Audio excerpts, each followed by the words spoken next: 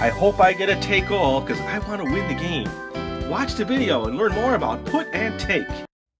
You are now watching a Lucky Penny Shop product feature.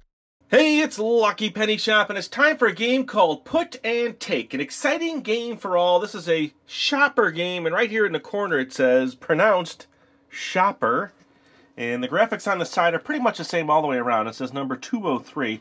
I don't know if any of you had this game, but there are so many versions of it and names of it that uh, I'm sure you have at one time seen it or a version. So there's nothing on the bottom. But let me just open it up so you can see the inside. Not sure if I have it the right way. Oh, there you go. So this is put and take. Here's your kitty, and then here's your spinner, and then your colored pieces. Now each of the colored pieces is a different point value, which they show on the inside of the instruction. So let's just give that a quick look here, because to be honest with you, I'm struggling with this game in regards to exactly how to play it. I mean, I understand how to play it. It's more the scoring, but the yellow chips are worth one point, the red are worth five, and the blue are worth 10. Now it tells you to start the game, each player is given chips worth a total of 40 points. It doesn't tell you necessarily the breakdown. So you can probably have uh, a 10 pointer, a couple 5 pointers, and the rest in yellow. Uh, so that's a little uncertainty there. So any chosen player may start the game. So the players take turns spinning the top. So let's just get set up here, and I'll read a little bit more in a little bit so we can get started the spinner. This is the kitty. And let me split up some chips here. So there's 10, 25, there's 30 for one player. One, two, three, four, five. One, two, three, four, five.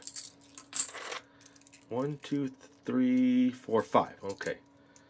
So let's say that is one player's pieces.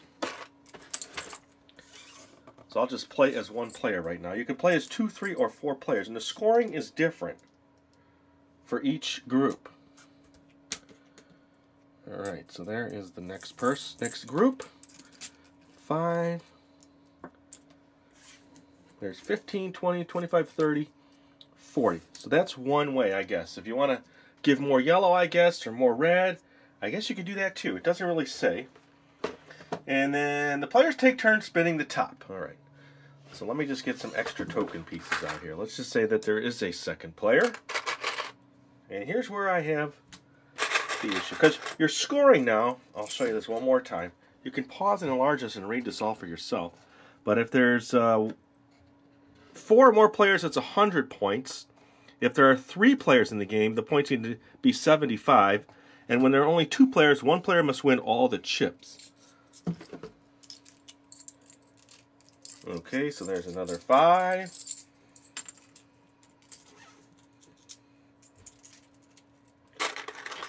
Here we go. One more set of five for that player. Okay, so we're set for two players. So let's get the spinning going. Because that's the best part, is watching this top spin. And it's a two-piece top. This comes off. Not sure if it's supposed to, but it does. So let me say, I'm just going to show you the spinning part. And then as it lands, it's going to either be a put or a take. We'll leave this here. We're just testing the spin now. Okay, so it's way off the screen. Let's test that again. Because when the play starts, it said that each player is going to put in three. So we're going to put in three. So that's a put three. So now I am going to put three. And here we go. I won't spin it too hard because it does spin for a while.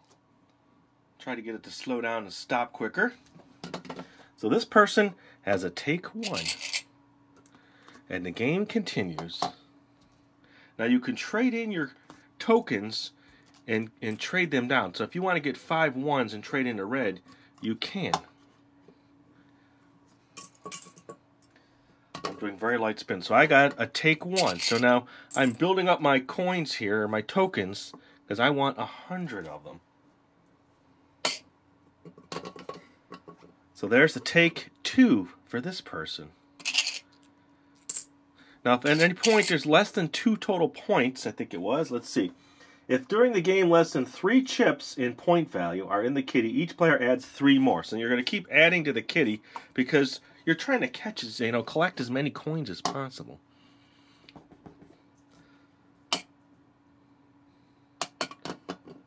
Take two. Okay, now there's three points in there, so let's see if this person gets a take. Now that's a put four. One, two, three, four.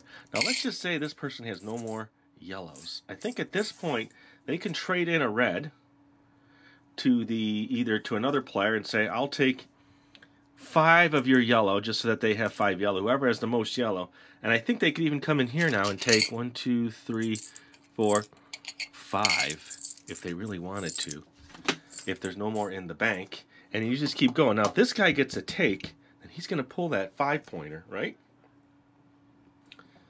Let's see. Stop, stop, stop. Right on the spot. Oh, put two. So let me put two in there.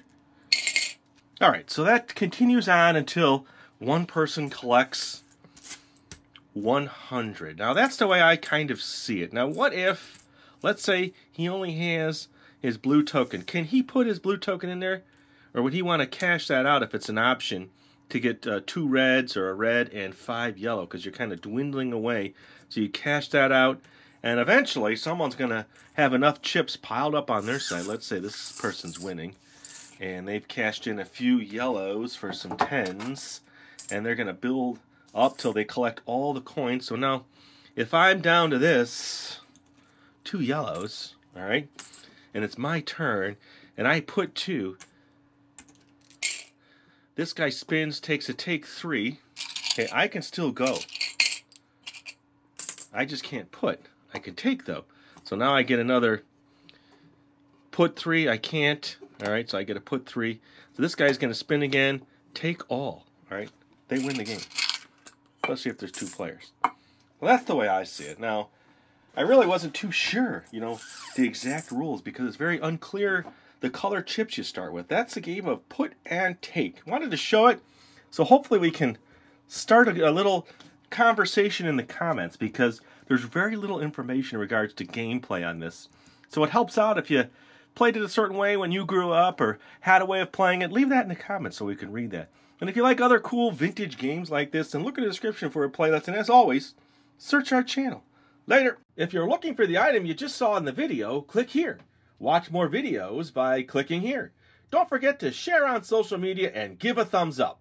Hey, LPS Dave. What's up, Butch? Make sure they don't forget to subscribe. Oh, yeah. Please click here to subscribe to Lucky Penny Shop. And always remember when you see a Lucky Penny, pick it up.